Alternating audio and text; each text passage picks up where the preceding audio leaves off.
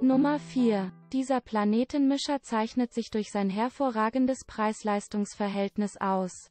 Er verfügt über einen leistungsstarken 900 Watt Motor, der für schnelle Ergebnisse auch bei schwierigen Teigen sorgt. Der Edelstahlbehälter hat ein Fassungsvermögen von ca. 4 Litern. Sie können zwischen sieben Geschwindigkeitseinstellungen wählen. Dank der 3D-Planetenbewegung mischt er die Zutaten in 3D-Bewegung für schnelle und hervorragende Ergebnisse. Hohe Sicherheit garantiert der Überhitzungsschutz. Gummifüße für mehr Stabilität bei der Verwendung. Der Preis für diesen Artikel kann über den Link in der Beschreibung gefunden werden. Nummer 3. Dieser Planetenmischer hat einen 1000 Watt Motor, der dank seiner 3D-Planetenbewegung und der speziellen Form der 4-Liter-Schüssel Teig bis zu einem Kilogramm verarbeiten kann.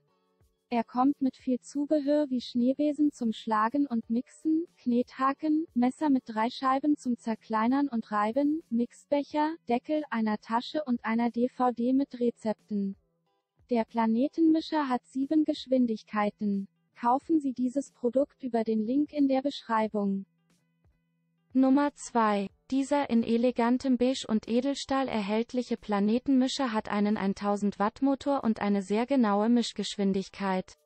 Der Planetenmischer hat eine große Edelstahlschüssel, ein Fassungsvermögen von 4 Litern, rutschfeste Füße, 7 Geschwindigkeitsstufen. Tolles Produkt. Am Ende der Videobeschreibung finden Sie den Link zum Produkt auf Amazon.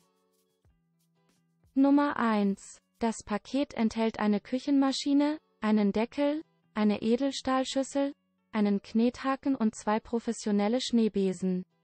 Der Optimum Planetenmixer in der schönen Farbe Pastellrosa ist die perfekte Küchenmaschine für Ihre Gerichte.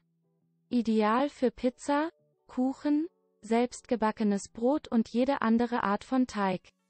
Der Leistungsstärke 1600 Watt Motor verarbeitet große Mengen mühelos.